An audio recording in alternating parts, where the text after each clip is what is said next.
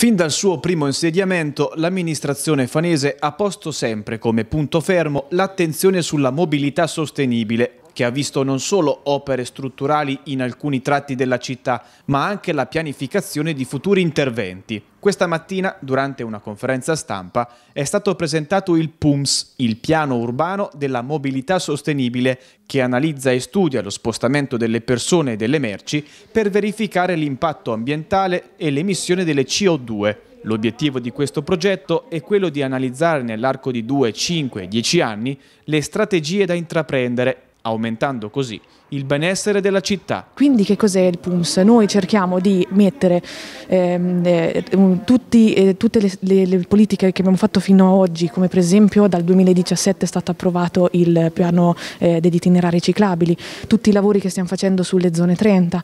anche eh, la riorganizzazione della, della sosta eh, è all'interno di questa strategia generale che, che eh, quindi mh, ci aiuta a mettere insieme tutti questi tasselli di un puzzle